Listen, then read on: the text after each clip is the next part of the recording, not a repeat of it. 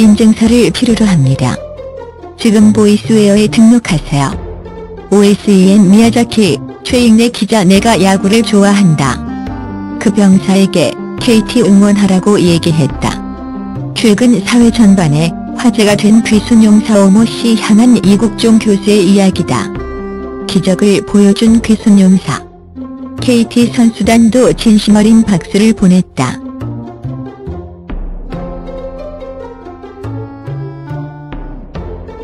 지금 보이스웨어로부터 인증서를 발급받으시기 바랍니다. 지난 13일 오후 판문점 공동경비구역에서는 몇 차례 총성이 울렸다. 우리 군 초소 근무자들이 즉각 뛰쳐나가 확인했고 낮은 자세로 쓰러진 북한군이 있었다. 귀순이었다. 북한군 병사 계급장의 군복을 입은 귀순 용사는 피를 흘린 채 쓰러져 있었다. 판문점에서 북한군이 귀순 저지를 위해 발포한 건 1984년 이후 33년 만이었다.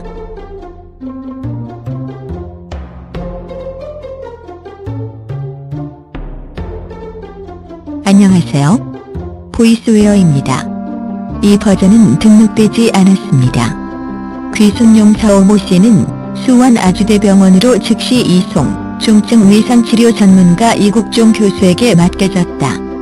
이 교수는 아덴만 작전의 영웅 석 해균 선장의 수술을 성공적으로 이끌며 관심을 받은 이다. 귀순용 사오모 씨가 어느 정도 회복하자 이국종 교수는 한국 노래를 들려주거나 헐리우드 영화를 보여주며 심리적 안정을 찾아주고 있다.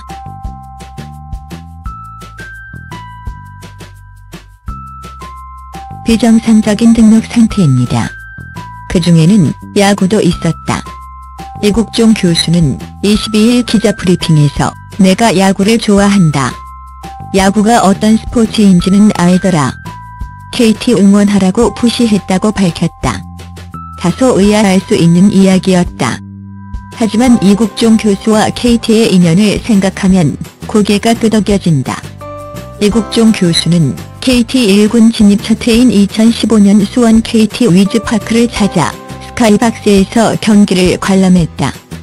시구 등 별다른 행사는 없었지만 평소 스포츠광으로 잘 알려진 이 교수는 KT를 응원하며 경기 내내 관중석을 떠나지 않았다.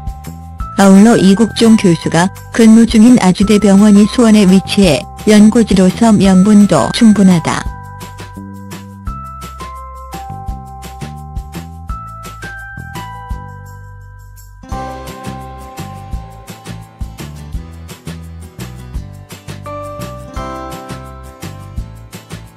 등록을 부탁드립니다.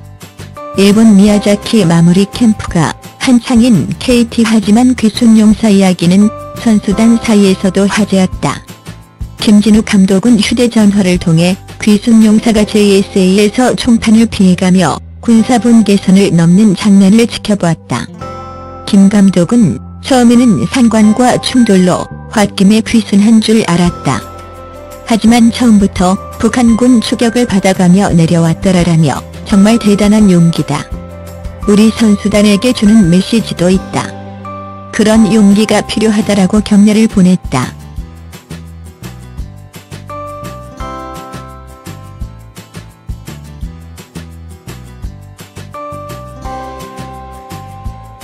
등록하시려면 보이스웨어로 연락주세요. 이어 김 감독은 어서 쾌차했으면 좋겠다. 기회가 된다면 경기장에 초대하고 싶다.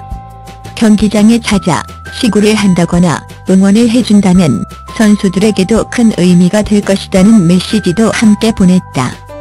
홍성무도 한국은 좋은 나라다. 어서 쾌차해 우리나라에 적응 잘했으면